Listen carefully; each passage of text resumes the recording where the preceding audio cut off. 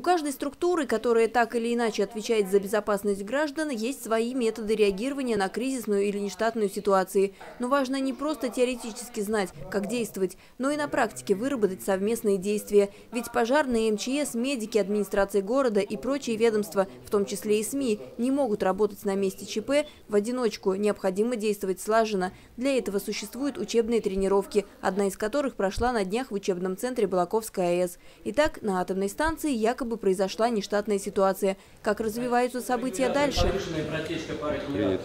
Контролирую параметры по смежным системам.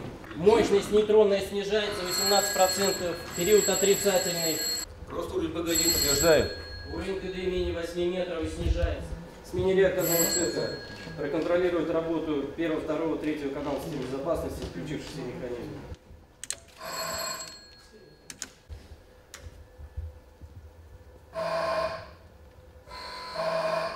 Продувочную воду по регенератору номер один байпасом на СВУ-3.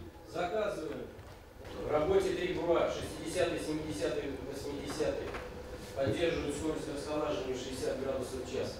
Директору, главному инженеру объявлена аварийная готовность.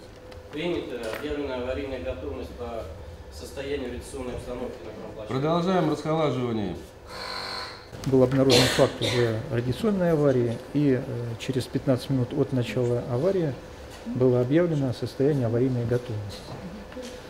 Значит, в это время э, КЧСПБ, э, комиссия, она реализует определенные свои функции в части там, эвакуационных мероприятий и принимает некоторые организационные решения. Не паниковать. Именно такую мысль пытались донести специалисты различных ведомств до участников учений. Необходимо дождаться официальной информации, чтобы знать, как действовать в случае нештатной ситуации. Ведь, к примеру, на той же АЭС радиация может пойти по направлению ветра. От этого будет зависеть и путь эвакуации. В каждом таком э, учении всегда работает аналитическая группа отдела радиационной безопасности, которая моделирует с помощью программных средств вот это вот распространение с учетом реальной обстановки погодной. Она смотрит, как это вот распространяется, куда, какими локальными зонами.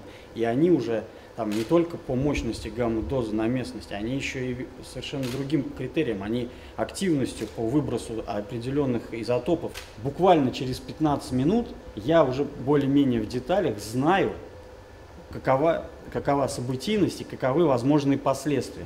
Как же жители смогут получить информацию о ЧС? Во-первых, будет непрерывно звучать сирена, и не обратить внимания на нее будет невозможно. Тогда необходимо включить телевизор или выйти в интернет на официальные сайты администрации района, правительства области и выяснить, что случилось и какие действия необходимо предпринять. Горячая линия организовывается.